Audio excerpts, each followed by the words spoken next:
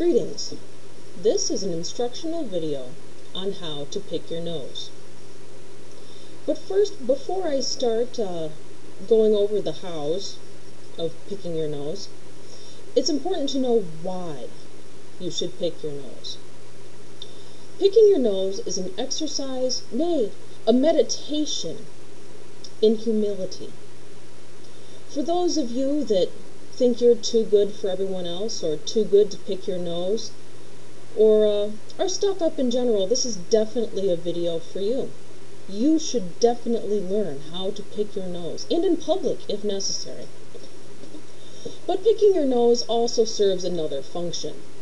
It's functional. Sometimes there are boogers in your nose that are crusty and stuck in there, and you can't get them with a Kleenex. So going at them with your finger is very important.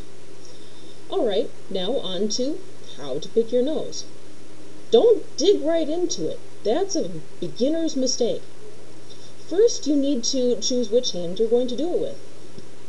I recommend you use the same hand that you do your writing with. I use my right hand.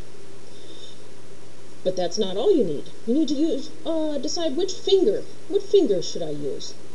I recommend the index finger. It's got the most touch receptors and can locate the offending booger with the best of ease. But don't just stick that finger up there, no. First you need to inspect the finger. Make sure that the fingernail is not too sharp and too dirty. If it's too sharp, you will get a nosebleed in public.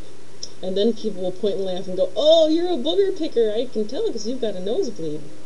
Make sure your nail is not too sharp. My fingernail is not too sharp. So, we've got the right hand, we've got the right finger. Now, you have to figure out which nostril. You should figure out which nostril to pick by oh, wriggling your nose around. And if you can feel a hard booger in there, then that's probably the nostril you should use. I am a very humble person, and so my nose is pretty much all cleared out already. But for the sake of uh, instruction, I'll pretend that there's a big booger in my right nostril. So I take my index finger in my right hand, which is the one I'm most comfortable using, and I stick my finger in my nose. Now, you can't always get the booger right away on the first try. You have to move your finger around, and in fact, I've found that by opening my mouth real wide, I can stretch that nasal area better and get better access. So it ends up looking like this. Oh, there we go. And then, once you've got the booger firmly underneath your fingernail, you gently scoop, and there you have it. You should examine said booger first. It's always good to examine your booger I don't know why, but that's just how it's done. Now, what you do with this booger is entirely up to you.